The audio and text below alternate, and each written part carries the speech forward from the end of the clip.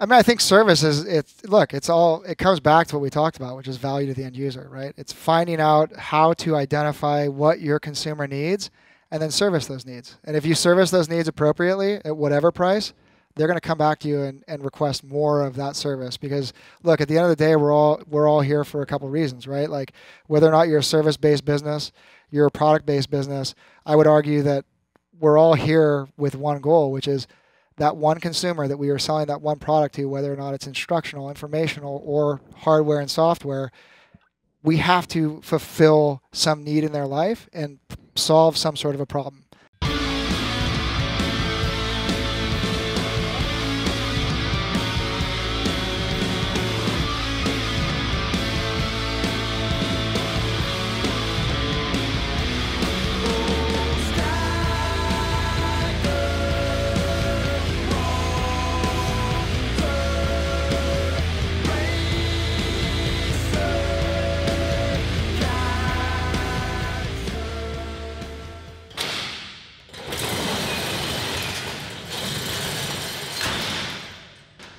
Welcome to Barbell Business. I'm Mike Bledsoe here with Doug Larson, Markus Gerszi, and we have our guest, Eric Glatter, uh, founder of PowerDot.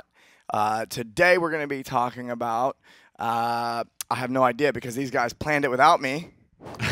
we, don't, we don't need you for this anymore. we Yeah, got this. Yeah, so what are we talking about, guys? I, I Oh. was too busy in the corner.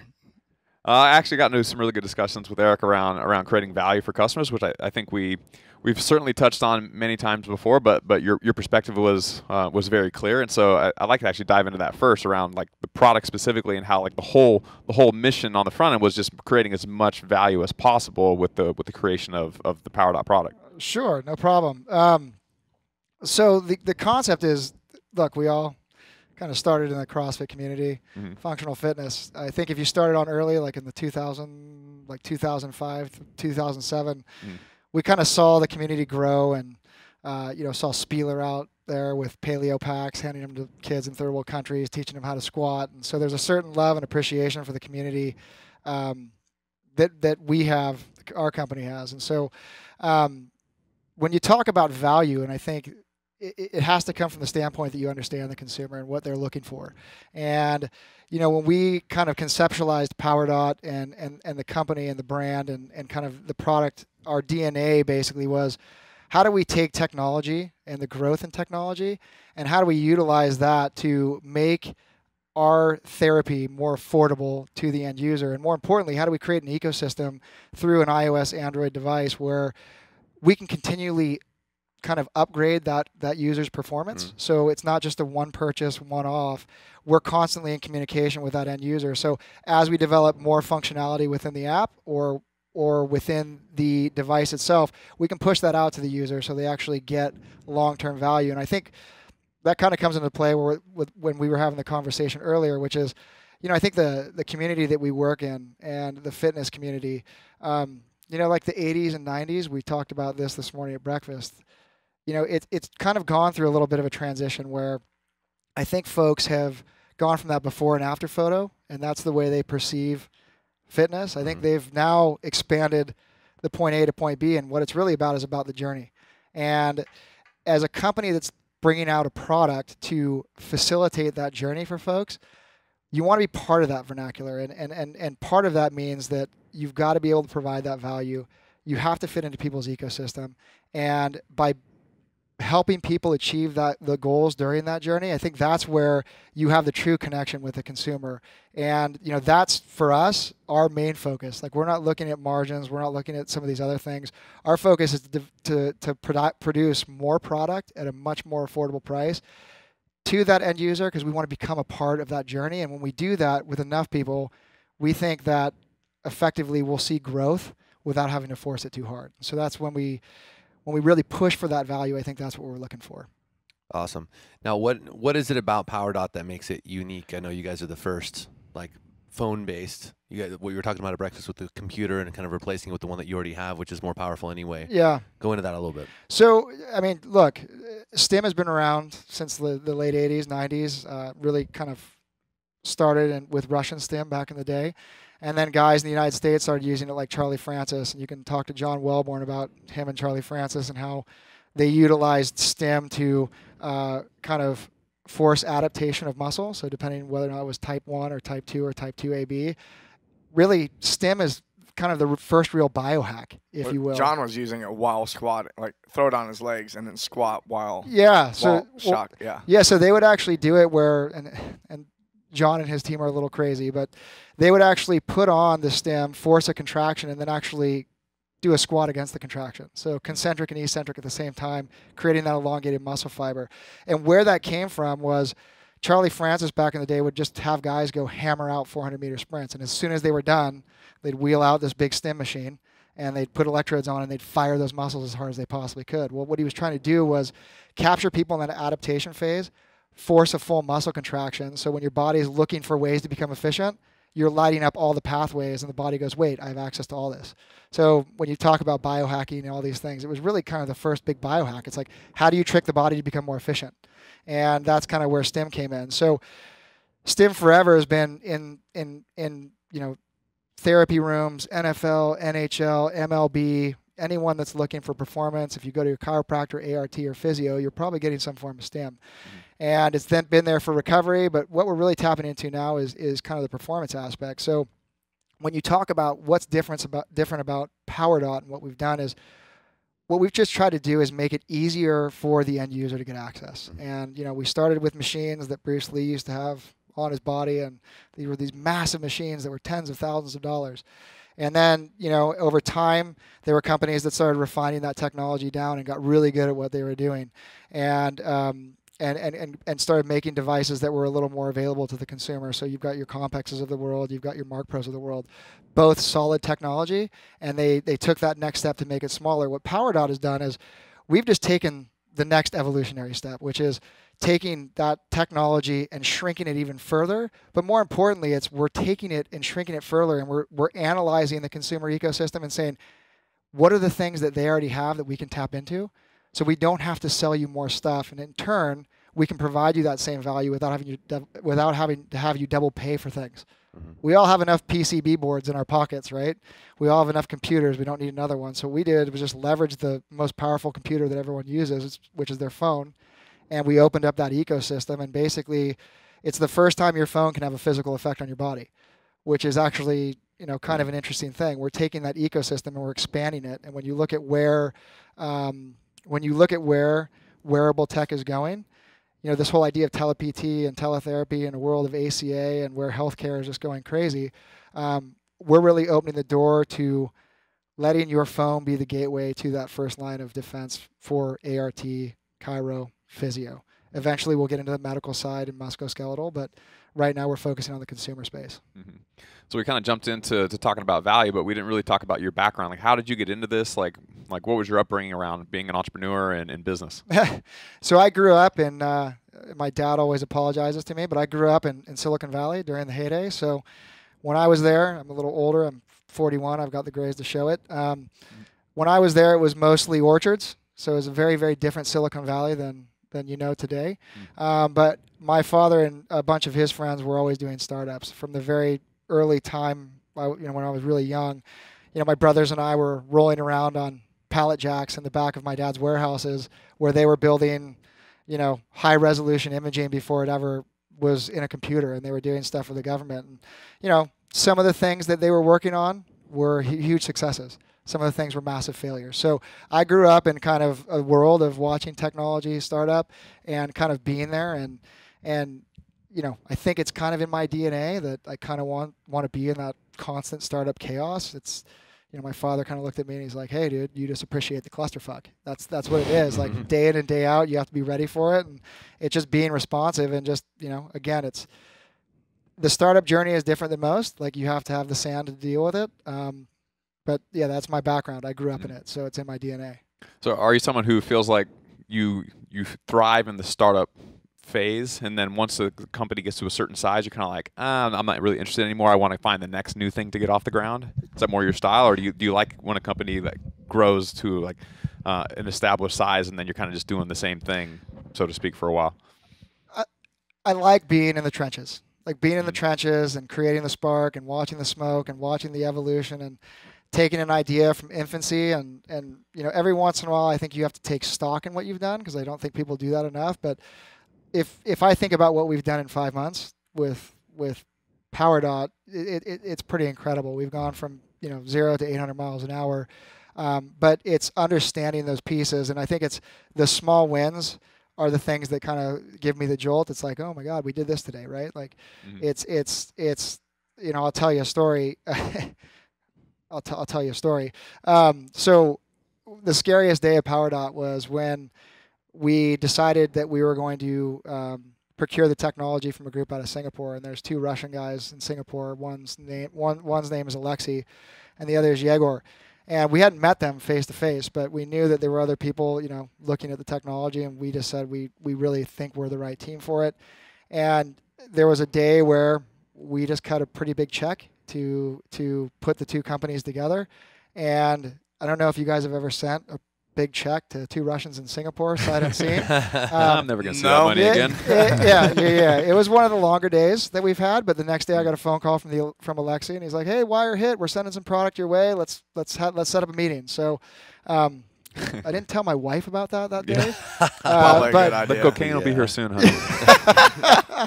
yeah, but uh, it's it's one of those stories where you think you're making one deal, but it's a totally different deal. It's like, oh, I thought we were talking in code the whole time. It's like, no, I actually want eStim. Like, yeah, yeah. But uh, you know, it's just it's a it's appreciating the risk, I think. And Mhm. there's people that like the risk. There's people that are more comfortable in more structure. I'm not necessarily comfortable in that much structure. I kind of like I kind of like the risk a little bit. hmm So, so what does your team look like right now? Like how I know you guys you guys have a beautiful app. You have great hardware. You have a, a fucking rocking website. Like you guys build all that internally, or do you farm that out, or how does that work? So yeah, so um, a lot of the work is done here, and then we actually send it over to our team in Singapore to actually do the execution. So um, when we first got the device, the app was very, very two-dimensional, not very consumer-friendly, and so um, you know the first iteration of the app, we had an app update about two months ago. Um, that was a massive undertaking in three months. Like we completely, you know, redid the entire thing. It's it's the equivalent of getting a uh, like an old Bronco and it's all rusted out. And like we literally polished it, put a new engine in, and, and put- put the whole thing together and and put it back out there. We had to deal with a lot of a lot of bugs. Um, you know, one of the things that we we we are finding with the apps is, you know, with iOS in particular, and then Android is. You know, Salesforce has just dropped their app from Android. And there's a reason for it. Well, not from Android, but from various phones on Android. It's because you're dealing with all these different platforms. And iOS is a little different um, especially when you're dealing with a Bluetooth device. So iOS just had their latest update, and everything got messed up on Bluetooth. So Apple Car, all these things, no one knew about it. So our cons- our, our our call center was just blowing up, going, oh no. our devices aren't connecting. And but if you go look at the app, so we had to move like within 24 hours to have a fix. We had the fix out there in 24 hours, and you know these are the types of things that you learn quick, like living in an app-based environment. When Yeah. Apple or Android decides to make a change, Mhm. you need to be ready for a little bit of turbulence. Yeah. And so we've got a really crack team down in Singapore um, that that is now on that. We've got about six guys down there developing. Mhm. Um, we've got an industrial designer, and then Alex is kind of our. Uh, our, our, our chief innovation officer, so he does all the hardware spec and software spec, firmware, and the actual device.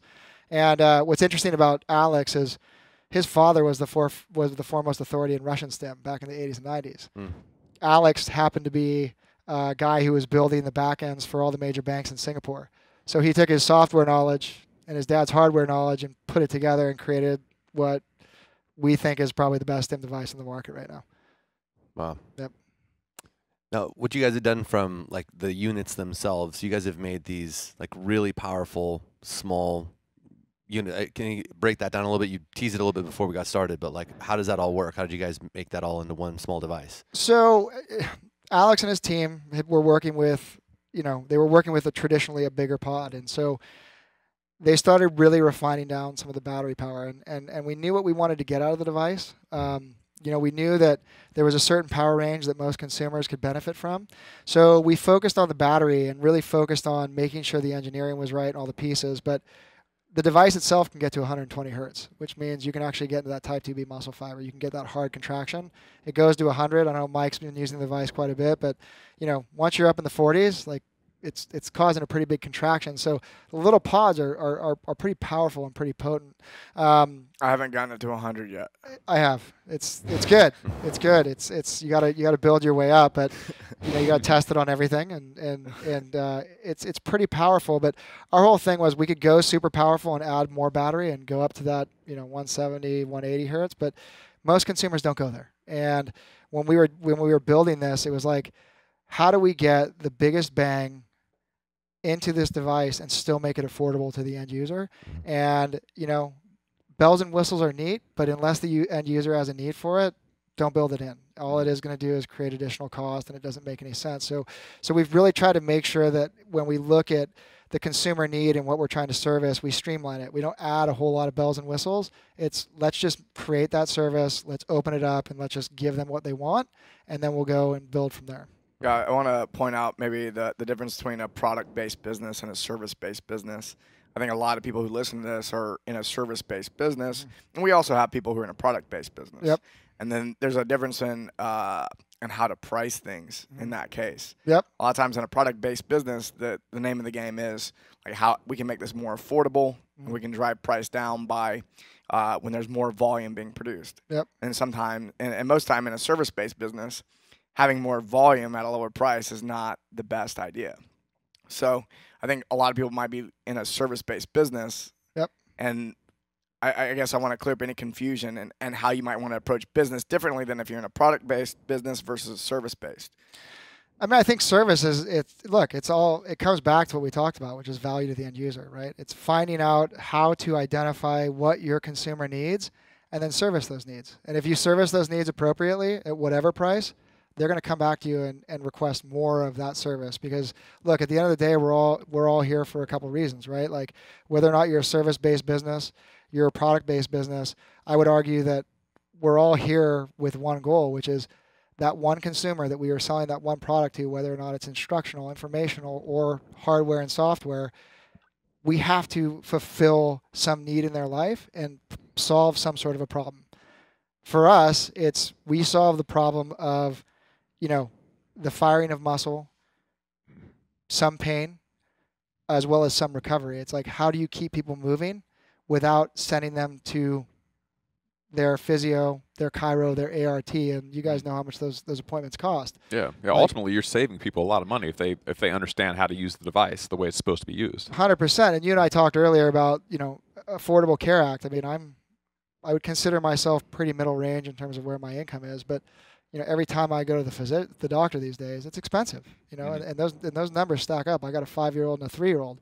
You know, I start taking them to the pediatrician. Yeah, Might as well go buy myself a Honda. yeah. You know, like it's it's it's it's it's one of those things. And so, you know, the thing that what we wanted to do was provide people a one-time purchase where they can get the benefit they would get from a physio, physio ART, and chiropractor. Mhm. Get that level of care. They can take it anywhere in the world they're at. Make it light, make it portable, make it easy to use so they use it frequently. Mhm. Because look, at the end of the day, if someone's using stim on a daily basis, they're going to feel better. Mhm. And if they're feeling better, they're going to project themselves feeling better. They're going to have a better day. Yeah. We've we've helped in that somehow, some way. yeah. You know, if I provide that at too expensive a service, I may not be able to reach that amount of people. Mhm. Um, but you know, we find that right price point. We can help a lot of people, and hopefully, you know, we keep them moving. We keep them in their fitness career longer, just in their health and wellness career longer, or just feeling better for that day. That's what we're looking to do. Yeah, I- always thought it would be a good idea for a gym owner just have like you know a set of like you know five units or so, and then with their competition team or with, just with like some of the more competitive athletes, like to to have like I don't know if you call it like a class or like practice or something like that, where like your your group comes in and then, and then the coach can say, all right, you know you. You, you have this issue, you know, put this on right here. You have this issue, put on this other spot, and then you're kind of doing like in a group setting, um, using something like like stim or Power Dot. Maybe you have one PT that's like a part of your staff or that's friendly to your gym that can come in and kind of help uh, all the athletes in the gym use the unit, and then the gym just owns the units, and then uh, it's just more value for the athletes in the gym for the gym for the gym owner. Yeah. Yeah. Well, look, at the end of the day, you guys have all been there. You guys were all gym owners. Like you guys have seen it. Attrition rates, they're always fluctuating, right? And you've always got that one guy that comes in. Mhm. I don't want to say I'm that guy yet. I'm 41, but that 45 to 50 year old, they come in, they work out, they get hurt, they leave for a couple days, and all of a sudden they're off your roster, right? So, Yeah. you know that retention rate is key, and so part of that retention rate comes from being a good coach, being mindful about the movements and making sure they're executing their movements correct, correctly. Um, you know, making sure that we're not pushing people beyond that pain threshold. Like if someone has a pain, have them pare back a little bit, make an adjustment, scale the workout. But what's what's important about that is, you know, you and I talked earlier about the importance of people's experience and how they talk about what they're going through and that idea of journey. You know, going to a gym on a daily basis or going through this, and if you get hurt, you're going to scream that just as loud as the fact that you got fit, right? So the negative Yeah. aspects of getting hurt or the negative negative aspe- aspects of having delayed onset muscle soreness the next day can have a negative impact on a gym, right? Just depends on how loud the person is that's talking about it. So being mindful of that consumer experience at the gym and as they leave the gym and making sure that their perception of what they're getting from the gym, you know, in, in my world, I think having that one advocate is just as important as having all those advocates because you have enough people speaking your accolades within a small community. That's how people are going to go to your gym. And, and, and those retention rates, the higher the retention rate within that gym, you typically find a much happier uh, a community there. And, you know, you guys have all been there. Like you've seen the gyms where there's just tons of injuries and all these things. And, you know, it's kind of like, ah, we don't care. And then by the time they're caring, hmm there's too many people that have left the gym and it's just like you're already on the downside of that slope right Mhm. so it's you either got to take it do a massive reset and fix or you know you close the gym it's it's it's it's kind of like that that's the way it would work yeah Well, let's take a break real quick. Uh, when we get back, I want to talk about your entrepreneurial journey a bit. cool My name is John Wolf. I'm the Chief Fitness Officer for Onnit Labs, in charge of basically all fitness product development, info product, and education coming out of Onnit. I found the Barbell Mastermind actually initially through their product Barbell Logic. I thought it was just such a beautiful piece of art that they put together and it sparked my curiosity. It is actually what spurred me to reach out to the team, develop that relationship about that, learn about that product, and then next thing you knew, I was at the mastermind. It'd be really hard for me to sum up everything I've learned by participating in the mastermind, but ultimately, it's that we're not alone. As entrepreneurs or business owners, or even executives for other for other companies, as I find myself in this current state being, uh, a lot of times we feel as leaders we're alone in our in our mission and in our problems. And at the mastermind, you find how untrue that is. We're all human beings, and we're all here to support each other. This is my second mastermind that I've uh, been lucky enough to attend, and uh, after each one, I always feel empowered to go back to my team and to my family with new tools to enrich our lives. We- we're all sharing the life together. So it's always something that I find those people that I serve appreciate. If you're thinking about attending Barbell Mastermind, ultimately it's, it's a decision about where you are and where you want to be and what you're willing to invest in yourself to make that happen. Uh, all the tools, all the resources, and some of the most amazing people I've ever known are here waiting for you. If you are ready to take that step, then they're here to help you. And success is just a byproduct of, of that type of support. And we're back with Eric Ladder from uh, PowerDot. And uh, I was wanting to dig into, I guess, the, the entrepreneurial journey. And the reason I like talking about this with people is no matter where they came from, the lessons seem to be universal, or at least we can all associate with the pain involved. And I think uh, when I talk to a lot of people who listen to this show, you know, uh, they make comments like, "Oh, when I listen to this show, I feel like people understand me, and there's Yep. other people like me." And it might be somebody who lives, you know, in a town where you know entrepreneurship's not really a thing, and so it's not common. So this is like their only opportunity to feel understood. Yep. So how did you get started in entrepreneurship? Like, at what point did you get into business? I guess you could say. I mean, how deep you guys want to go? Just knocking on neighbors' doors, charging nickels for Yeah. you know for, Yeah. for firewood that we had out in, in, in For the sure. neighborhood. I wish, I Um, wish I was one of those kids that did shit like that. yeah. I, I hear people talk about stuff like that all the time. And I'm like, man, I didn't do any of that when I I was a totally little did kid. that shit. Yeah. Did you? Yeah. Yeah, Yeah, dude, yeah. like we. Uh, I mean, I'm the youngest of youngest of three brothers, so you had to pretty much fight for for everything, and and, I, and I'm the smallest of three brothers, by the way. Like my my oldest brother is six six, and he weighs. At, at the height, he was probably in the 270s, 280s, so big, Dang. big boy. Mhm. Um, and you know there'd be times my mom would actually come home and I'd be hogtied in my own underwear. My two brothers left down there, so like I had to like I had to learn to fight. Like I had to learn to like you know like earn my way, and that was everything from you know making sure I got the last glass of milk on the table, or you know uh, going out and kind of earning our way. And so my dad was always an entrepreneurial guy, uh, and and he always kind of encouraged us to go out and do our own thing, and you know didn't really put a lot of restrictions on us. So sometimes it was good, sometimes it was bad. Um, there was a time my brother and I, when we were in elementary school, and we had a connection to Garbage Pail Kids back in Colorado, and so we were actually buying tons of them there, bringing them to school, and selling them on campus. And we both got suspended because we were making too much money on all the other fourth graders. And so it's kind of always been there. It's like, hey, how do you take this and and and provide that service to someone, and then charge them for that service? And and it, it's kind of always been there. So um, you know, when I was in college, I, I kind of said I want to go figure out what drives a market and I want to go figure out what makes a market. And so I created a very specific path. And so I went from University of San Diego, go Toreros down here, uh, and I ended up moving to New York and I worked for Cantor Fitzgerald, which is a, a big institutional trading house um, in New York City. And so first concept was learn what makes a market. So go trade for an institutional trading house, figure out what creates demand, what, what creates supply. And so we did that for about a year and a half. And then from there, I went back to the Bay Area where my father was working out of their companies, and I started working at a, a firm called Wilson Sonsini, Goodrich and Rosati, which was uh, kind of the premier corporate law firm uh, um, in the Bay Area. And so I went there and I became a paralegal and was like, okay, we see what drives the market. Let's go see how to build a company. And so it was all about corporate structure and corporate financing and figuring those pieces out. And then it was at that time my father called me up and he said, "Hey, I'm working on this new project. We're spinning something out. Why don't you come work for us?"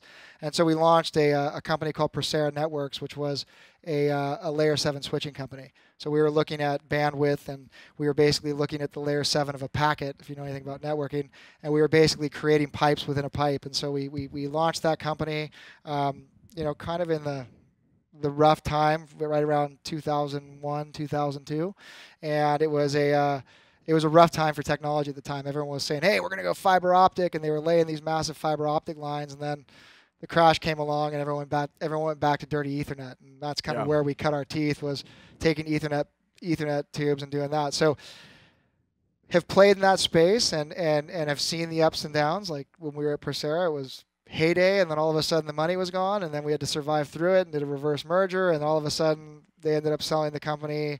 I think it was like 2007 and 2008, and did pretty well with it. And that's kind of when we started working on. Uh, uh, I started working kind of in the in, in the CrossFit space with some of the guys at AzerX. That's what's interesting with technology is the uh, you get to see the market change quickly, and you, you get to watch it like Oh, yeah. shift around you really fast. Whereas a lot of industries um, that still exist, maybe you know a beverage like the the beverage industry or something like that, it's Yep. still slow compared to technology.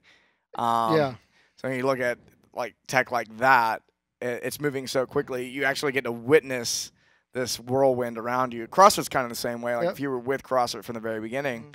you're oh we got to operate like this for a long time, and then three years later, if you're still operating the way you were three years ago, you're completely screwed. yeah, Whereas some companies can just do what they were doing five years ago, and it's still cool. But technology is one of those things. And then in a in an industry that's as new as say something like CrossFit, you can't sit still either. You have to be constantly evolving. And I think you bring up a pretty interesting point with regard to technology. My father used to joke around, jo- joking around with me, which is like, you have to spend the majority of time like looking over your shoulder to see who's coming up on you, right? And I think this is important when you're talking about a product, especially in the tech space. Like, you know, you speak about brand. You guys have built the Barbell Shrug brand, like you know, the Barbell Business brand. Brand is super important because I think brand actually gives you a little bit of buffer in terms of innovation. So if you've got good brand, it's going to give you a little more buffer in terms of your innovation side. Um, you know, PowerDot's kind of in an interesting place because we're we're so new that no one really knows the brand, but the technology is there, so we're building it out. But you have to focus on both sides of the business because, you know, I'll tell you, like, in like technology is scary, and technology moves so quickly that if you don't have either the resources, the nimbleness, or the time to be looking behind you and making sure you're watching the entire market, Mm. it'll sneak up on you and someone will come and take your spot. And you know, when you've put so much time into something and so much effort, and, and you guys all know, like when you're doing your own startup, I mean, it's 18 hours a day and you can't always just focus on one thing. And we have five people at our at our office here. We've got four over in our office in Singapore. So we're a pretty pretty lean team and and and we're stretched on the daily basis. Yeah. So so spending that time to be looking over your shoulder, it's a lot. So what I would say to kind of entrepreneurs, it's you can't just focus on the technology. You got to focus on the brand. And if you focus on the brand and you build enough brand recognition, that'll actually give you some of the buffer because sometimes it's not always about the best innovation. Sometimes it is about the brand. And if you have that, you have the ability to make larger pivots rather than having to move so quickly. Because Mhm. you know, look, when you move quickly, mistakes get made and all sorts of stuff happens. But you make a really interesting point. Like you got to have brand and innovation. But you're right, technology moves fast, and we're we're we're doing everything we can to stay ahead of the curve. Yeah. So in 07, you got was it 07 you were saying you So- you went from that technology space into the CrossFit space. 07 is when I kind of stepped away and started working on in, in, working on a, as a consultant with a couple other groups, and then met with Markus and the guys over at Dynamis and kind of watched what they were doing in the CrossFit space, and it was interesting. Like you know, eh, watching CrossFit kind of blossom from where it was in the functional fitness movement. You know, the idea that people were more focused on the journey than just like, hey, I got six pack abs. To me, it was like that was amazing. Like there was a time I was up at uh, Nike years ago, and I walked in and I kind of looked at, you know, I kind of looked at kind of what they were doing, and and I was like, you guys aren't necessarily making a shoe that I'm that I'm interested in yet. And they kind of said, you know, like when someone really wants to get into not basketball, um, you know, not some of these other things, but really wants to get into like the hardcore non-running fitness where they're lifting, that's when we'll start making a shoe for it. All of a sudden, you look at what has happened is CrossFit's come on, and now you've got Reebok making the Nano, and you've got you know Yeah. Nike making the Metcon, and they're making huge investments into these products. So watching kind of the CrossFit bloom from 2006 to 2007, and kind of what Glassman put together was, you know, taking this functional fitness and putting it in a gym, and giving people that ability to compete. You know, there's a desire for that, and I think that, you know, when we saw that happening, it was kind of from a sports marketing standpoint. It was like, hold up, hold on a second this is a group of people that are working hard. They're going to work on. They're going to spend money on things that help them work hard, and they're going to continue to do it. And they're going to talk about it. And you saw that, like again, with Chris Spealler and those guys, like traveling the world, like you know, handing out paleo packs to kids and helping them squat, and like that whole community. I think they were producing viral content before content was really going viral. And I think you know, CrossFit in and of itself has had a has had a huge you know on Instagram and these things. I mean, CrossFit has been a major pusher in how Instagram, you know, how Instagram is now a marketing channel because people get to tell the story between point A and point B, and that's just hugely powerful because people are looking for that information. And like with the guys that are doing subscription businesses and and are pushing out content, like the power of social media and how it's evolved within this community and being able to tell a story visually especially to this group of people that are constantly looking for information, constantly looking for ways to better themselves. It's just it's a hugely powerful thing that I don't even think we've scratched the surface on yet. I think it's I think it's going to continue to grow. I think And it's really interesting. yeah. Yeah, I never even thought about that. Is is without something like Instagram, you wouldn't really get to witness the journey. That because that Yep. before that, fitness was this was this was you know today, Before and and this after. is six months later. Yep. and you didn't get to see anything in between because who is so uh, narcissistic that they're going to take pictures and put them in magazines every day. I would I would I would argue there's now people that are doing it a little too much, but but but yeah, but it's like get, getting to be a part of that person's journey and seeing how they're doing it. We used it's to a lot less effort, so you're Yeah. not nearly as narcissistic. Yeah, exactly. but we used to we used to laugh like we were we, we used to joke around like in 2007 2008. I'm like, I think CrossFit is like CrossFit is is is is the Comic Con of fitness. People work to make more money, to spend more money, to be better at their sport, and if you can be a part of that journey and provide value within that, like there this is going to be a juggernaut and i think they've proven it's a juggernaut and i think you know it's it's it's we like it because it's it's a pivot point like I can't go to triathlon and market to anyone else, but I can go to CrossFit and I can market to everyone else because everyone kind of knows functional fitness. Everyone knows the Olympic lifts. And from the standpoint of putting your product in with this community, it translates across the board to everyone that just wants to move and they want to move to be to do what they love and be passionate about what they love. And so we're expanding the universe. We've you know we started in the CrossFit space.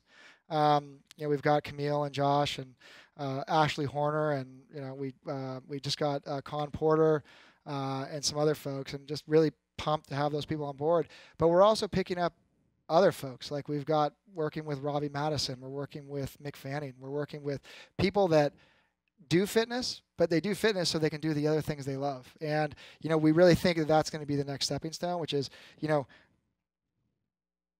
CrossFit, functional fitness will always be the place we cut our teeth, but we do this to be good at other things and to live our lives to the fullest. And we think that's a super, super important message, you know, over the next couple of years is, you know, using this to do these other things better. Mhm. And we want to be a part of that journey in, in people's lives. For sure. I, I think that's the evolution that we're all kind of Yeah. aware of now Yep. is that it's no longer just CrossFit for CrossFit. It's now everyone understanding its place in the bigger picture of sport and whatever their application is, Yep. and how that's really kind of the evolution. This has become kind of the gold standard now of kind of strength conditioning and preparation for whatever it is that you want to do because it is about balance. It is about you know the the using the whole body and understanding you know holistic movement, wellness, Yep. the entire equation because that then translates into whatever you want it to. Yep.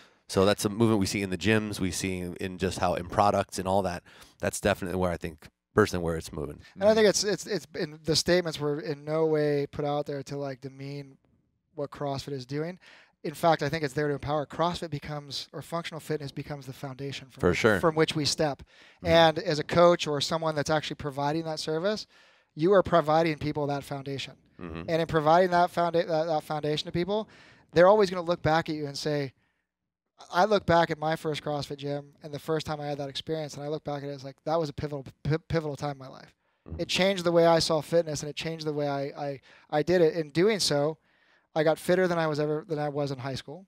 And, you know, it changed the way I approached each day. And it was like, I can do more, I can do it stronger, I can do it longer, I can, I can literally go out and, and be more successful at all these other things. And so when we talk about it, it's it's it becomes a foundation, which is a hugely powerful thing, especially in the in the consumer space.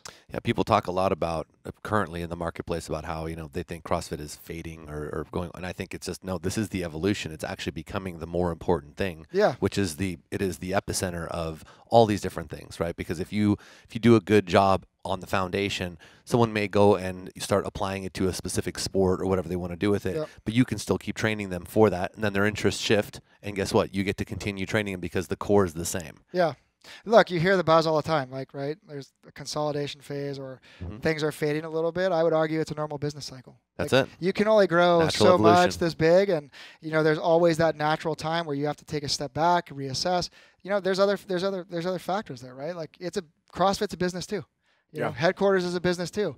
Like they've got things that they've got to manage, and you know they're also held to a, a different standard that you know we as CrossFitters don't know, and we don't know, you know, some of the things that they're working on. So I would say that you know, people that are saying CrossFit's fading a little bit, your perception is just a little off. It's just going through a normal business mm-hmm. cycle. It's almost like they've got to have that healthy reset where it's like, okay, we got to take a step back, see who we who see who we are.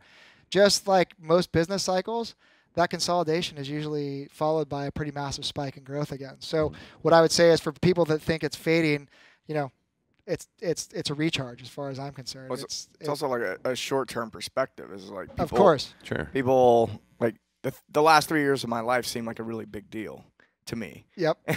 Yep. But in like the grand scheme of things, if I if I look at say that the fitness industry in the last 20 years, it's Yep. gone through massive change. And when you look at that, uh, CrossFit is really really new still. Yep. And so there's this big explosion, and every time there a new industry emerges, there's a big explosion, and then it contracts a little bit. But uh, the contraction is just cutting away the stuff that it's just the extra, Yep. the, The- stuff the that's fat. not working as well. You know, and and uh, a lot of people. I mean, you see this, you saw this in tech over the last you know 30 years.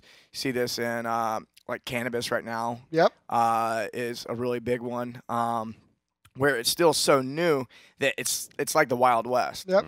Everyone everyone thinks they can do it. Yep. And and a bunch of people step in, which is good because now it, it like it creates a lot of entrepreneurs. A lot of people that like that's their first step into being a business owner. And uh, and when an industry is really new, it's it's kind of easy to get into. Mm-hmm. It's also easy to get eaten really Yeah. fast. And so, and so I think what's hap- you know, definitely what's happening right now is it's just a maturity. It's the evolution. You Yeah. know, we're we're maturing. Things have to become more professional, and any consolidation that's happening is you're not seeing the really professional businesses. You know, the the really professional gyms going out of business Mm. or being sold. It's the ones that people were like, "Oh yeah, I'll do this as a hobby on the side in addition to working my job." Yep. those are the ones that are going out of business or being sold or something like that. So the people who take it really seriously, which which makes it good for everybody.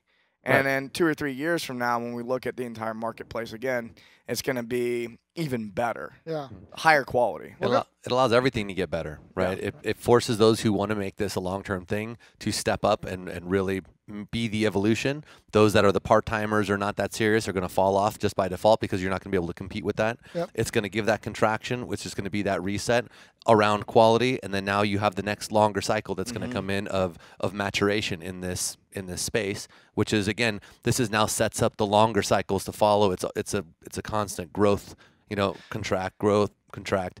I mean, Yeah. give Glassman credit. He said it in video. You can go back and look at old videos where he's like, "Dude, the cream will rise to the top," Mhm. and in doing so, the cream rises to the top. The rest gets pushed away, and then the reset happens. Right. So, what I would say to people though is, don't be discouraged in terms of pursuing your passions in this space. There's plenty of opportunity because everyone kind of everyone I believe could benefit, you know, from functional fitness, CrossFit, you know the, the the opportunity is still there. So if if you're a young entrepreneur and you're saying, "Hey, I've got this idea," don't be discouraged. Don't be discouraged by it. Mhm. You know, find a community within your community of like-minded people, vet the idea out, and go test it. Because I still think there's plenty of Yeah. opportunity there, and I think there's a lot of a lot of a lot of chance for for for up and comers to to build business. Yeah, I, the- I talk to new box owners every single day Yeah. that are getting started and like, hey, do you, is this still a good time to do it? And I'm like, if you're going to create a great product or a great business, if that's what you're after, if you're looking for like a silver bullet, short term, part time thing, probably not. Yep. But if you want to build something awesome, absolutely. It's it's it's a great time. It's still actually really young in the bigger picture. Yep. Get into it, make a name for yourself, build something great, and it's not a question. Just learn from what's already happened. That's all I tell you. But go in wholeheartedly. Yeah, go. Right, You got to like- go in all the Yeah. way. Dude, nothing nothing will ruin a business than the founder of that business not having a passion for that business. Because look, you're going to have hard times. Mhm. You are going to have days where you are like, I don't know if I can open my doors. Those are the those are what my dad used to call the character test. It's this it's that gut in your feeling. You wake up, you don't know how you're going to make next payroll. That's when you find the true nature of of of that person. You got to stand up. You got to be passionate. You got to fight for it, and that will be something that your customer senses and feels, and they want to be a part of it, and they want to help you. Mhm. Like I, can't imagine the amount of times I've actually gone to a gym and been like, I mean, you guys have all seen it. The members want to be supportive of that coach. In, in all sorts of ways. Like, we want to throw events for you. We want to do this. We want to provide you product, or we want to put a TV on the wall, or whatever it is. Like, that community is there to support you so long as you're passionate about that community. I would argue the ones that, that alienate their community, those will be the guys that, that, that, that fall out the fastest. You know? I was actually on a call with a, uh, a, a an affiliate owner yesterday. Yep. And as we were on our call, we had an hour set aside for our call. We're about 20 minutes in. He's like, "Hold on, something really weird is going on. My staff and a bunch of members are like giving me this weird look from across. Like, hold on, can you hold for me a second? Sure, no problem." He goes out. The entire gym was hiding around the corner. They had gotten this like $800 like rack set up for him for the gym as a gift for Christmas, and they Oh, surprised nice. him while we're on it. Mean- Oh, wow. As he's telling me about like his story and everything, and I'm like, dude, that right there already tells me that what you're doing, Yep. you're doing right. Yep. So we just need to amplify that, Yeah, right? And it's it was just such a cool thing to actually literally be like hearing it happen in the background, like people cheering and people going nuts, and it was just it was a really cool thing. It just for me when I'm when I'm talking to these people, it's way more a vetting process of like how serious are you about building a great business, Yep. and versus someone being like, yeah, I'm just looking for the next excuse for me to blame something on. Yeah, and, and I th- that's a dangerous cycle.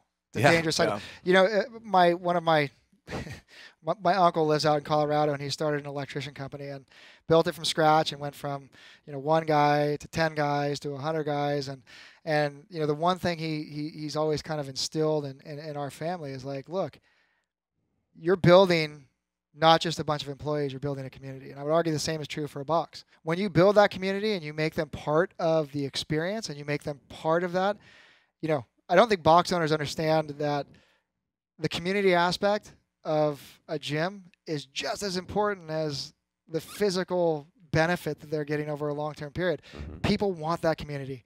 And in a time that we're rushing so fast, I think we talked this morning about as we build a business and we're doing these things, I'm taking 18 hours a day. If that one hour a day is the, the time I get to, com- to, to have camaraderie with a group of people, that's a very, very important thing in today's society. It's it's I get to have that camaraderie. I get that team effort. I have a community that's supporting me in my goals. That's a hugely, hugely potent thing Mhm. for people. So if you're if you're working on that, and back to my uncle, his whole thing was, I have employees. Let's make them pro- let's make them profit share.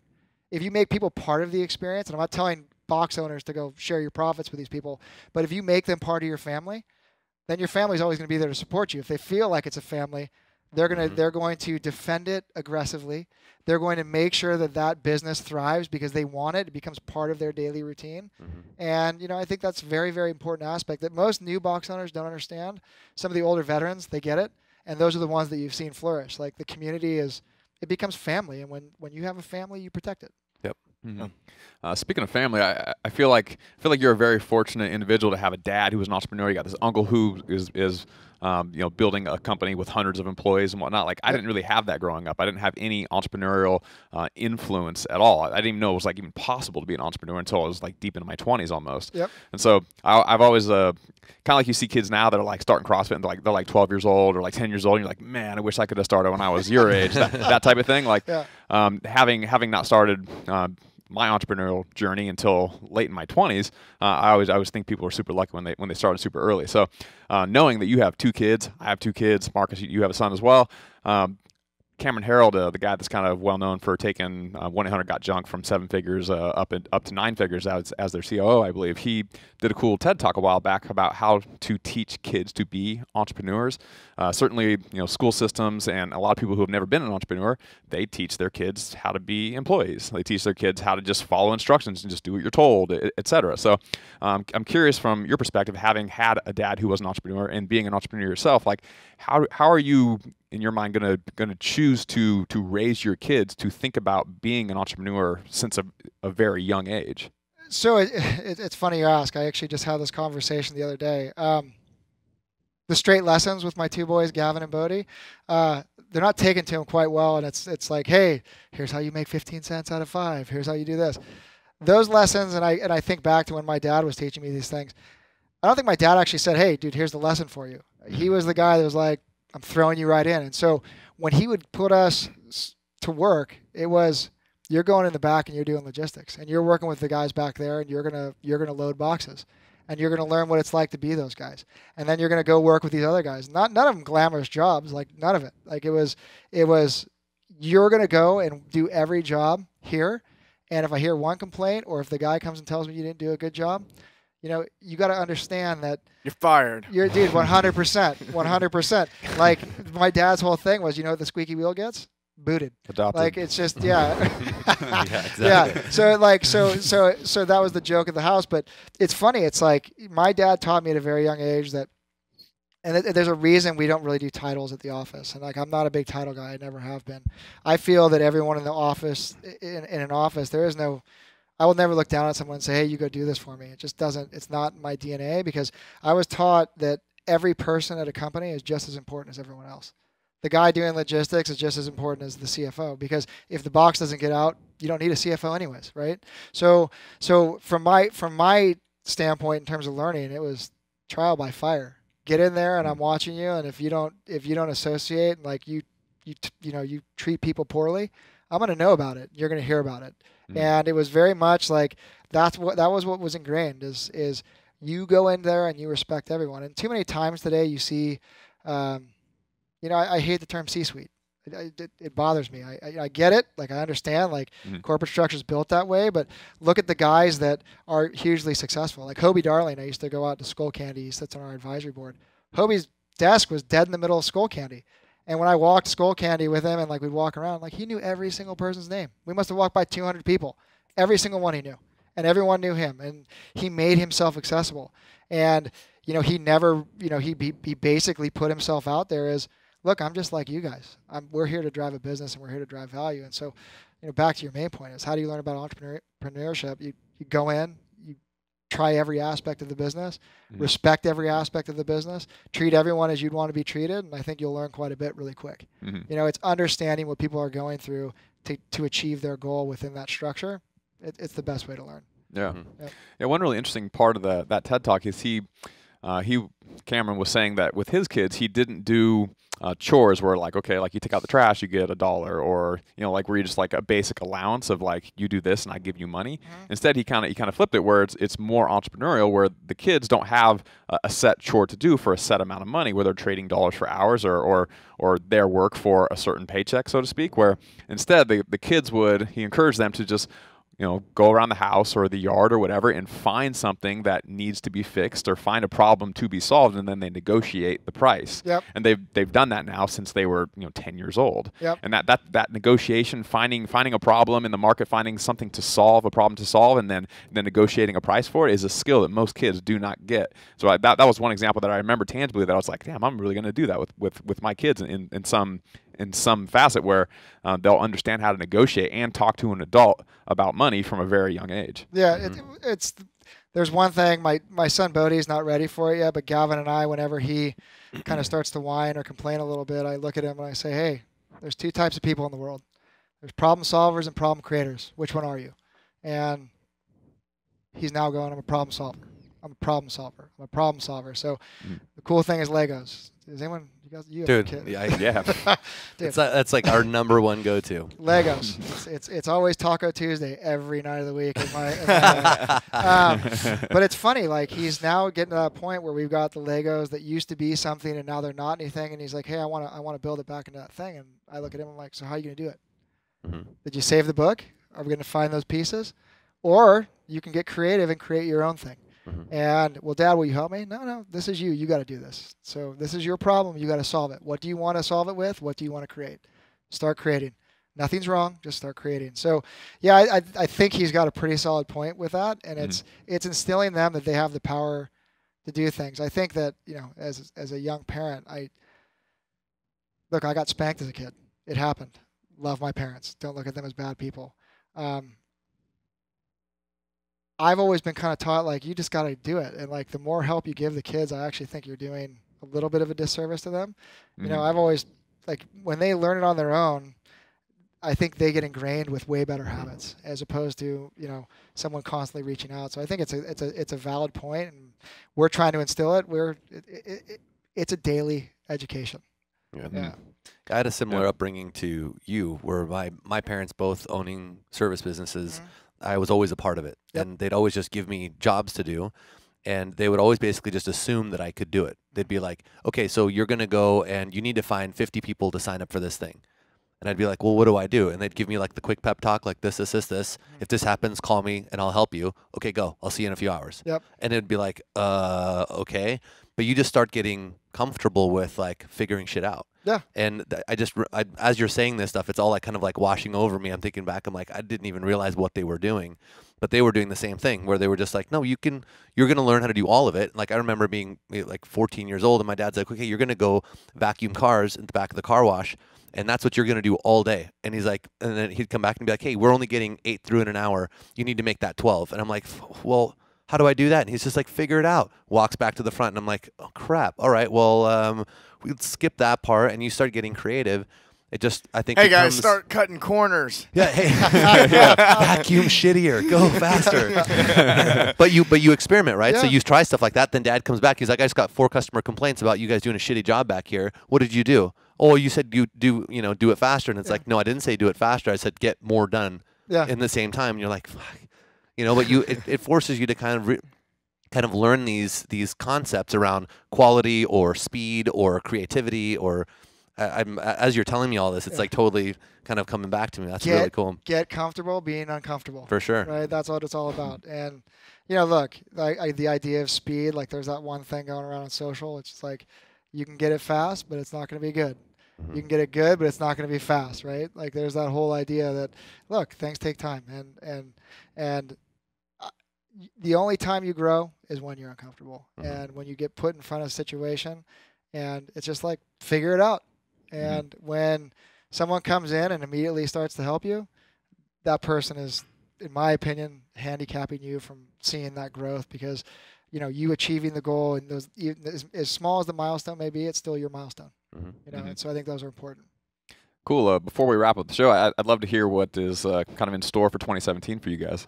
Yeah, so we've got some really great things happening. Uh, 2017, we've got uh, some new app updates that are going to be coming out that we think are going to be pretty groundbreaking uh, that, that you'll see, and it's going to really open up um, the idea of how you use the, uh, the the PowerDot device. We've got some big athletes coming on board that you'll see. We're really going to be expanding that universe, talking about some of the other people that use the device and how they use fitness to to explore their passions. And we've got a really great team that is coming on board uh, uh, to work with us. We've got some pretty exciting stuff going, and we'll you know we'll still be doing the rounds with with uh, with the regionals and games, and you know participating in as much as we can with regard to the open. But you know we're looking forward to to a pretty successful 2017 and continuing to provide value to our end users and really building out the PowerDot ecosystem and, and, and putting that out to the broader community. If people want to follow you guys, I'm assuming it what just powerdot.com. So we're at mypowerdot, so it's at mypowerdot.com Uh, on Instagram. It up. Yeah, that's okay. Uh, we're still trying to buy PowerDot from someone up in up in the Eastern Bloc, but uh, it's mypowerdot.com. Uh, the, the the website's mypowerdot.com, and, and we're launching a new site uh, January one, which will be Mm. powerdot.com, and that will be our global site. So that will be launching. That'll be launching January one with a bunch of fresh content, and we're gonna be mm-hmm. we're gonna be spooning out content on a weekly basis. So we got some real exciting stuff happening there. Yeah. Good. Very Looking forward to it. Cool. Thanks, Yeah. guys. Coming on. Thanks Thank for you Appreciate for it. the show. Yeah. Bet.